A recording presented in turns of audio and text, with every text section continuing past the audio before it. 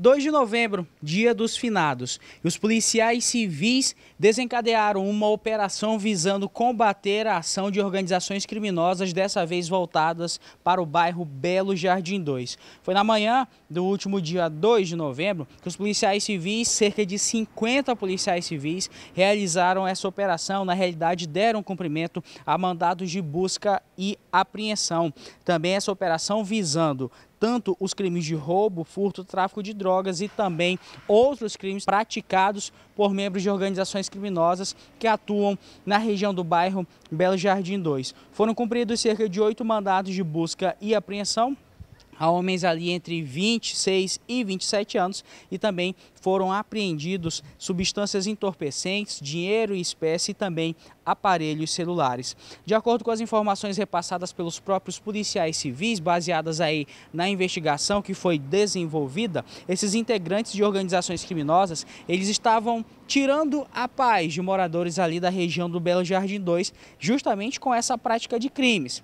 Na realidade, os policiais civis em posse de diversas denúncias, sempre da mesma coisa, tanto tráfico de drogas, roubo de celulares e outros crimes, acabaram optando por desencadear mais uma operação, dessa vez voltada especificamente, como eu já disse, ali para a região do Belo Jardim 2. Após esse levantamento de informações baseado nas denúncias realizadas aí pela própria população, foi que os policiais conseguiram constatar que isso estava acontecendo em um número, em uma escala cada vez maior, e foi aí que eles juntaram todo esse efetivo de policiais e realizaram essa operação já nesta quinta-feira, dia 2. Para ser mais exato, a quantidade foi uma operação conjunta, foram cerca de 50 policiais, como eu mencionei, mas foram policiais aí tanto do Departamento de Polícia da capital interior, também policiais da DHPP, Draco, Defaz, NECAP e delegacias tanto da Delegacia do Tucumã, Delegacias de Senador Guilmar, Manuel Urbano e Assis Brasil. Afinal, as investigações conseguiram apontar que esses crimes estariam interligados. Por isso, a investigação precisou ser conjunta e precisou abranger também essas outras delegacias da Polícia Civil.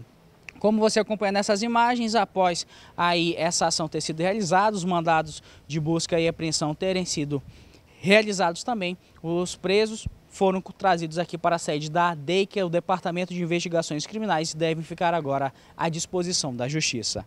Com imagens de Madison Oliveira, Luan Rodrigo, para o Gazeta Alerta.